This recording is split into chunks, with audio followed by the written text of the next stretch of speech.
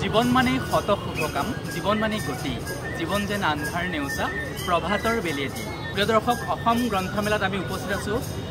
গুৱাহাটীৰ চানমাৰিস্থিত অসম অভিযান্ত্ৰিক প্ৰতিষ্ঠানৰ খেলপথাৰত। আমাৰ সৈতে উপস্থিত আছে অসমীয়া ভাষা আৰু ছফ্টৱেৰ বিকাশ কেন্দ্ৰৰ স্বত্বাধিকাৰী শ্ৰদ্ধাৰ অনিল বৰুৱা আমি ডাঙৰীয়া আপোনাক স্বাগতম জনাইছোঁ আমাৰ অনুষ্ঠানলৈ।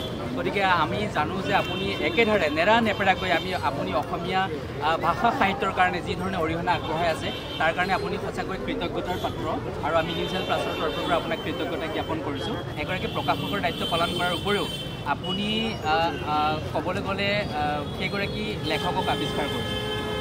লাইফ অফ এ ড্ৰাইভাৰ সেইগৰাকী লেখকক আৱিষ্কাৰ কৰাটো আপোনাৰ পক্ষে সম্ভৱ হ'ল। সেয়া আপোনাৰ জীৱনৰ এটা এটা ডাঙৰ প্ৰাপ্তি বুলি ক'ব পাৰি। তাৰ আগতো কোনেও চিনি পোৱা নাছিলে কিন্তু আপুনি তেনেকুৱা এগৰাকী প্ৰতিভাৱান আপুনি লেখকক আপুনি উলিয়াই আনিবলৈ সক্ষম হ'ল। গতিকে সেয়া সঁচাকৈ এটা ডাঙৰ এটা স্বৰ্গীয় কথা বুলি ক'ব পাৰি। আৰু ইমান ব্যস্ততাৰ মাজতো আপুনি অসমীয়া এখন অভিধানো আপুনি প্ৰণয়ন কৰিছে নহয় জানো? আপুনি নিজেই লিখিছে এইখন অভিধান। এনেকৈ সংকলন কৰিছে। không ডাঙৰীয়া আপোনাক একে একেবাৰে শেষত এইটো সুধিম যে আমাৰ ছাত্ৰ ছাত্ৰীসকললৈ আপুনি কি ধৰণৰ এটা বাৰ্তা প্ৰেৰণ কৰিব? যিহেতু ইংৰাজী মাধ্যমৰ ছাত্ৰ ছাত্ৰীসকলো আছে তেখেতসকলেও অসমীয়া নিজৰ মাতৃভাষাটো শিকা উচিত নহয় জানো? আমি কোনো বাধা নিদিওঁ বা বেয়াও নাপাওঁ যে তেওঁলোকে ইংৰাজী মাধ্যমত পঢ়িছে। কিন্তু তেওঁলোকে ঘৰতে হ'লেও অসমীয়া ভাষাটো চৰ্চা কৰাটো দৰকাৰ। কি যে আমি সকলো অসমীয়াতে।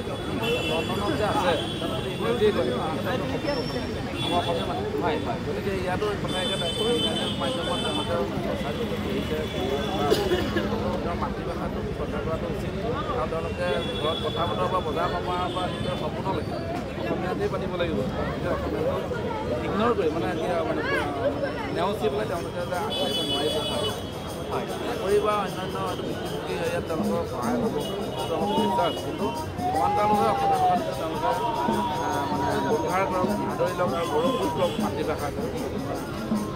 প্ৰত্যেক মানুহৰ তেজৰ নিজানত আছে সুফলা মাটিৰ উজ্জ্বল প্ৰতিমা।